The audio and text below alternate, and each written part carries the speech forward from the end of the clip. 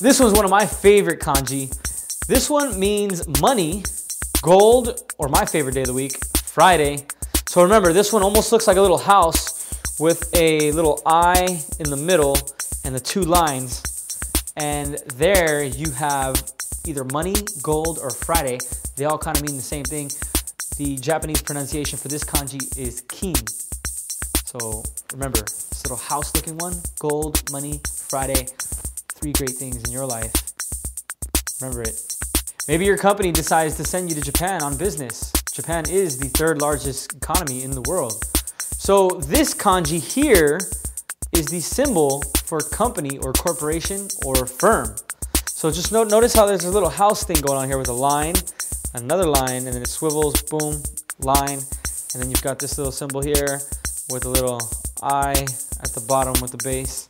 This means kaisha in Japanese, and it's the symbol for company, corporation, or firm.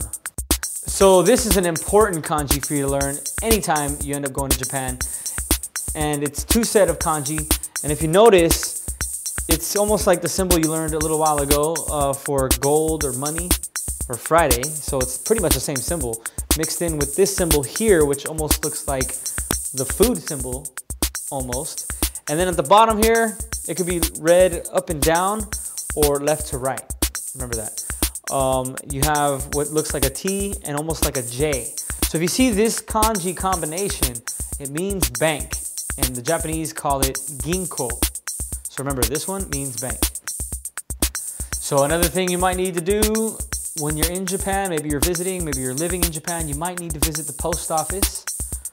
So this is probably the harder one you're gonna learn, but not really because it's the only one in the lesson that has three Japanese kanji. There's this one, almost looks like a B on the side of that thing. That looks like a T. That almost looks kind of difficult, but you know, you can manage. And then there's a third one here, and it's pronounced in Japanese Yubinkyoku, and that means post office. So if you remember this set of Japanese kanji, you can kind of remember that it means post office.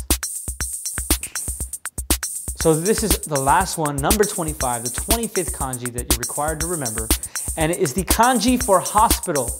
Definitely one you want to recognize in case you get sick or you get hurt and you're in Japan. So this is the symbol for hospital. Notice there's these little, you know, these little lines here, and then you go down, almost looks like a B, and there's that line, and then this line here. There you go.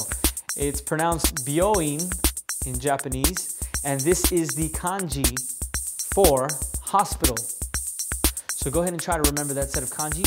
Take the test, and remember, you want to score at least 85%. So good luck.